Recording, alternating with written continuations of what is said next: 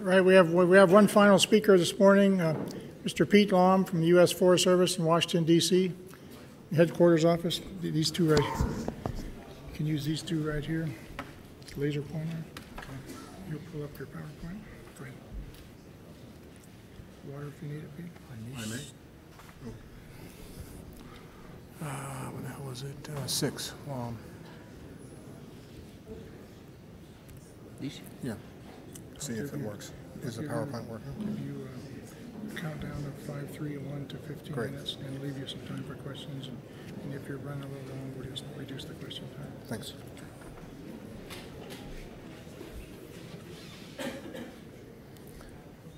There we go. Good morning, uh, good afternoon, everyone. Uh, thanks for the opportunity to talk to you today about another item that is actually pretty significant in terms of, especially folks who are in the smoke, in the fire business for their livelihood, for their long careers. Uh, guess what? There are some challenges with the smoke from wildfires in specific, and also um, prescribed fire use. So I'm here to talk about it from both a public perspective as well as a fire personnel perspective. Um, with the U.S. Forest Service um, and uh, been kind of pushing this smoke issue for most of my career, about 25 years now, uh, about the significance of dealing with smoke. Um, and it is really both a message dealing with both the public as well as fire personnel. A lot of people don't perhaps have an understanding of the risks associated with it um, and the importance of addressing this. And we just heard a talk about stopping and looking at the risk. Well, there's risks associated with smoke. One of the thought processes that seems to be very common is the idea that it is one that is only a health related issue. Well, I'm here to talk about smoke in the context of its shift to a safety related issue.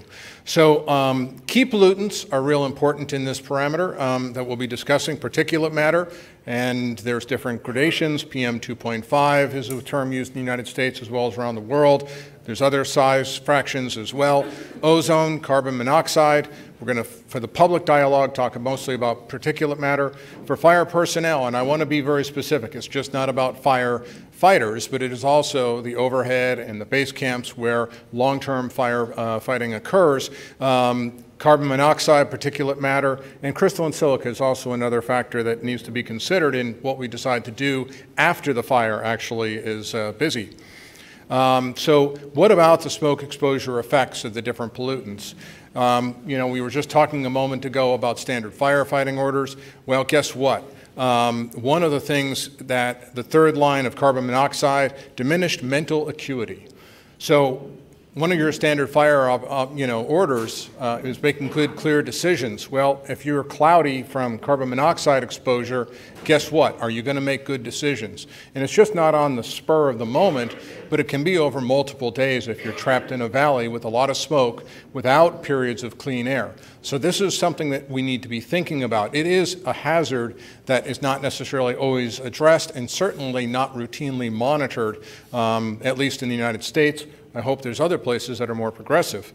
And of course, we also know carbon monoxide at high levels, and this is certainly an issue that's dealt with probably most predominantly in the structural firefighting world. Uh, it can be fatal at high doses. There's a lot of work that's been done on that side. Particulates, um, respiratory irritation, eye irritation, immune system response. If you uh, hit a lot of particulate matter as a fire personnel and also the public, your immune system is very uh, compromised in terms of any sort of uh, illness that comes in, viruses, et cetera.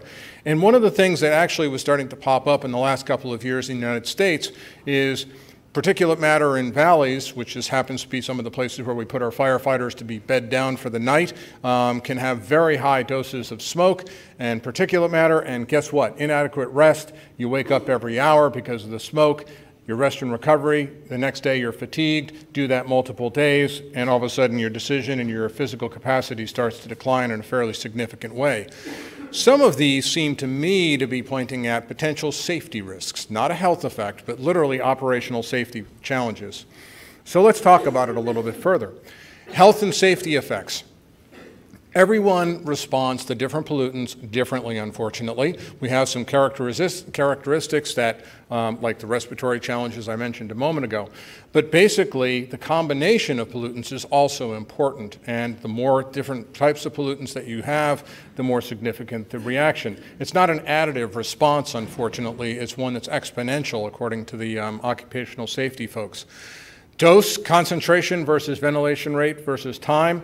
Obviously, the public can change their, and reduce their exposure fairly easily. I'll talk about that. But fire personnel, it's kind of part of the workplace environment. But the reality is, is there can be some responses in that arena as well.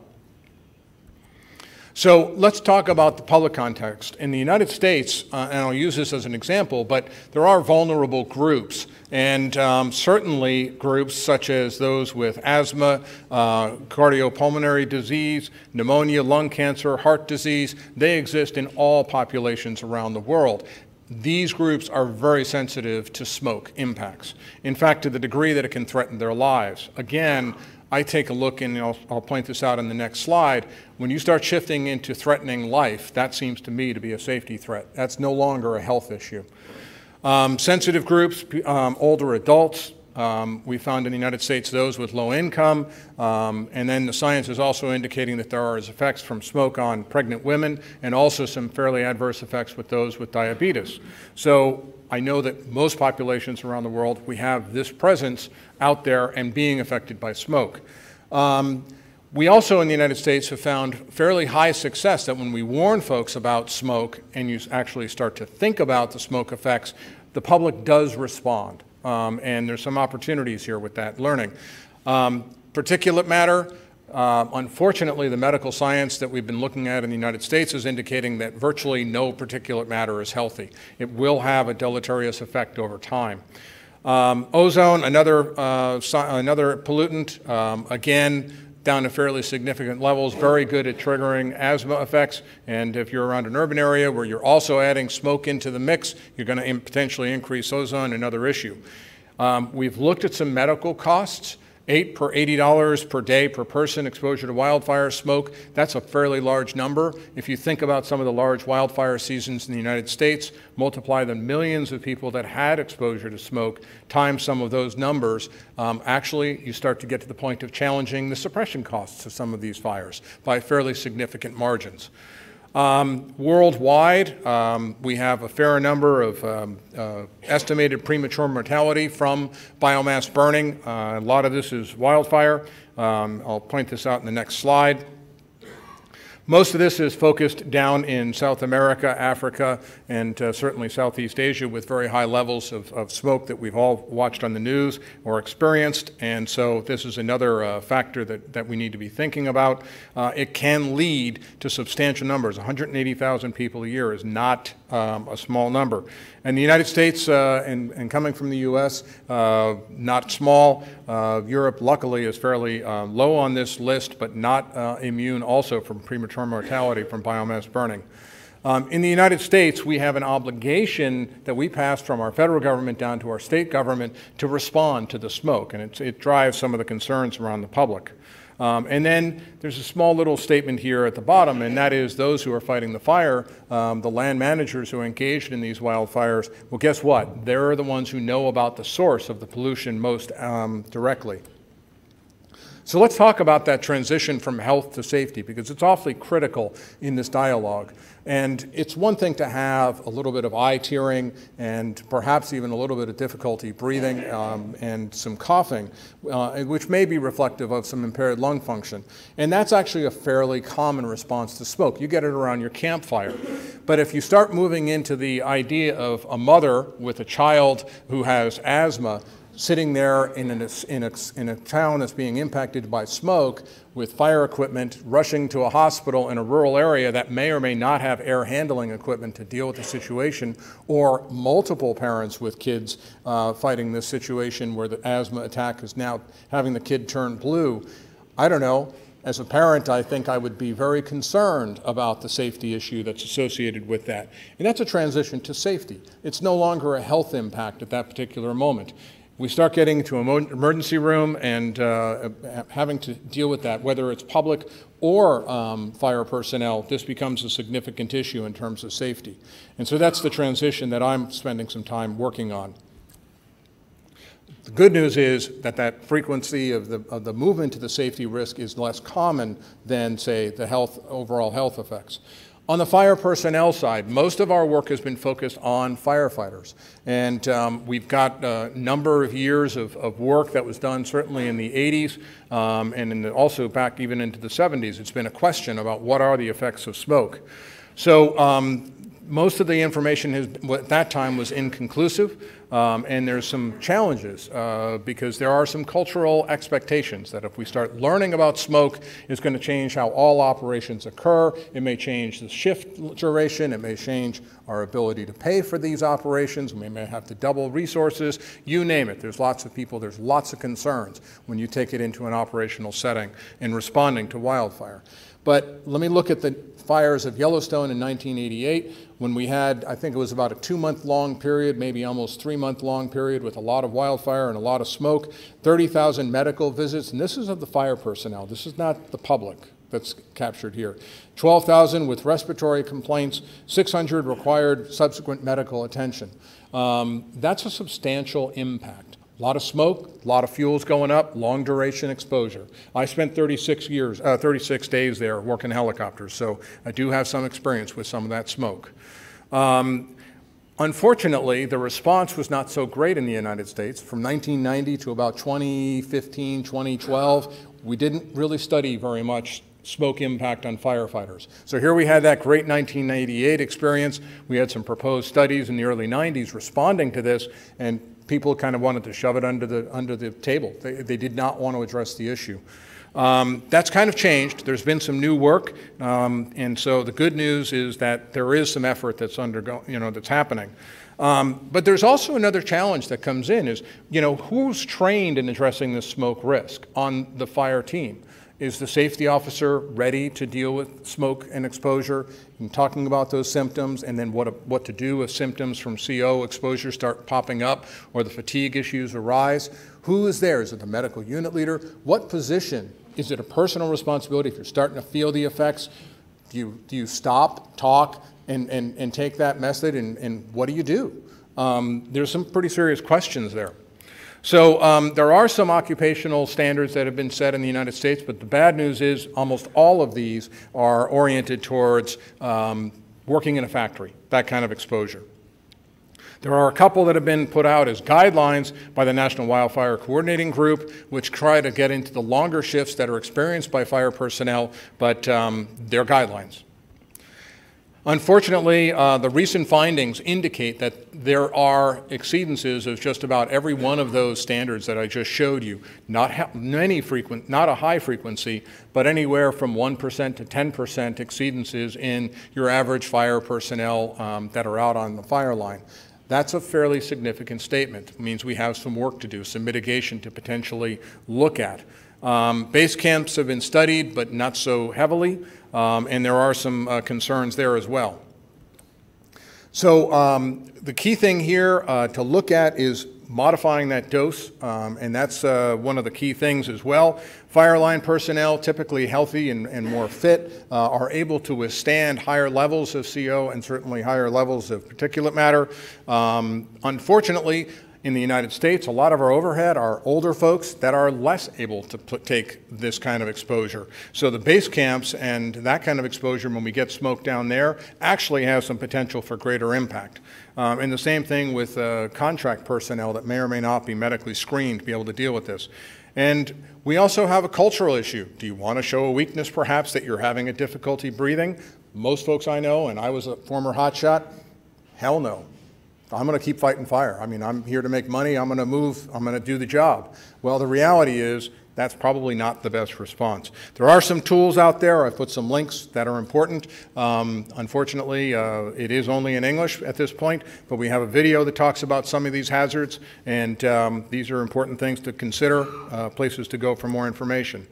The good news is that some of the teams out there are starting to look at smoke as a specific risk. And one of our risk analysis um, hazard uh, tools, uh, the 215B, is uh, something that is starting to show up with smoke uh, miraculously. And there's starting to start be some mitigation that's being thought about. So let's talk about public um, as well. Uh, the good news here is we can usually get a message to the public a little bit easier sometimes, and there's probably not the cultural bias that we have on firefighters, um, but we do need to uh, pay attention to symptoms, and we can get messages out there which we understand the public will respond effectively. Um, and so there are significant effects, as pointed out at the bottom of this, that you know mortality is increased when you expose folks to significant levels of smoke for significant durations. So some of the messages, pretty simple, stay indoors, although I will point out that a lot of the work lately is indicating that staying indoors and trying to close windows, et cetera, they better have good windows, they better have a good circulation system, or else you're almost in the same hazardous smoke levels as you are outside. And that's a, a, a bad news piece because we've been telling people stay inside, stay out of the air. If it's hazardous levels especially, it's likely going to be really high levels inside the house or inside the structure as well, um, one of the issues. Communities can be advised to cancel events, and uh, there have been advice like that. Um, only a few times in the United States has there been evacuation of a community because of smoke. Canada tends to lead the way um, that I've found in terms of nations pulling the plug and saying time to get folks out uh, because of the inadequacy of medical systems to be able to deal with smoke uh, impacts on the public. In the United States, we are trying to address this progressively. Um, we have a significant wildfire issue, 7 million acres a year.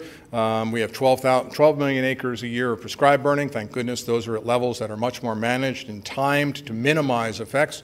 Um, but I want to point out for wildfire in the United States, that is the largest source of high levels of particulate matter that we've got. In fact, right now, compared with our industrial sources and mobile sources and all the other sources for particulate matter, wildfire, prescribed fire combined probably make up about 40 to 50 percent of the particulate matter load in the United States.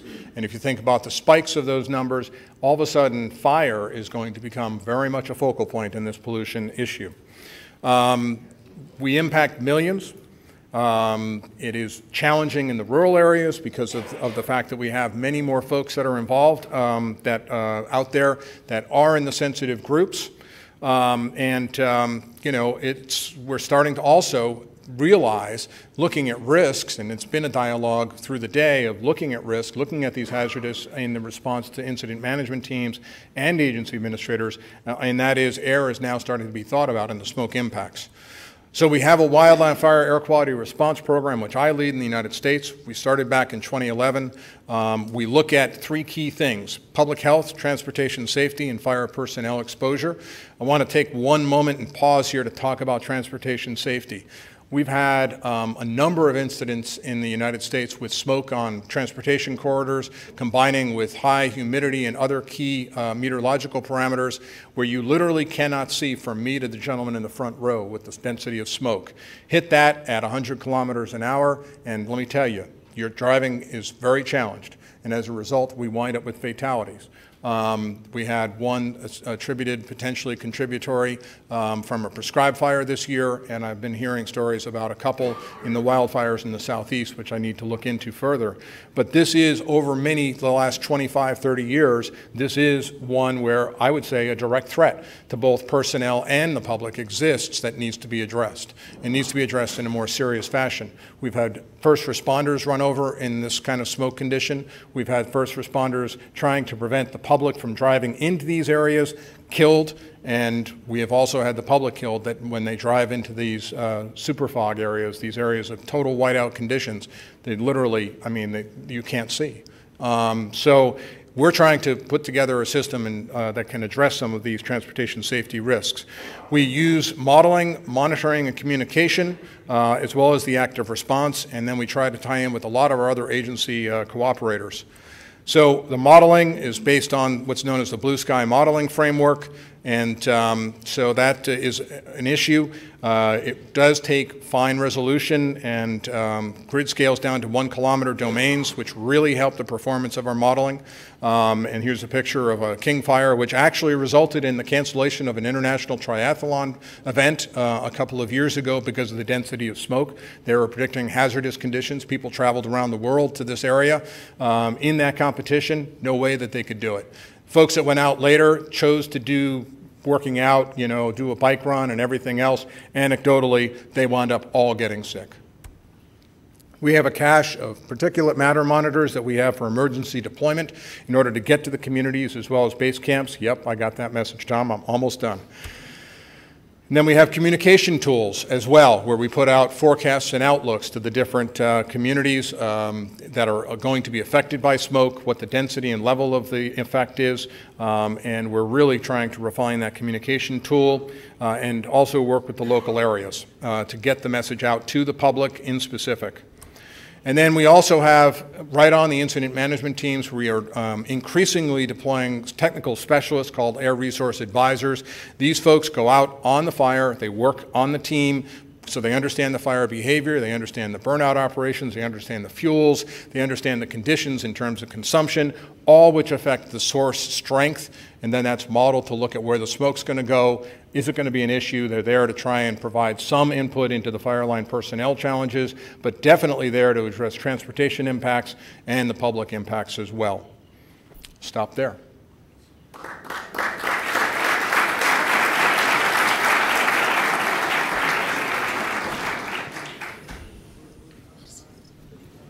One question.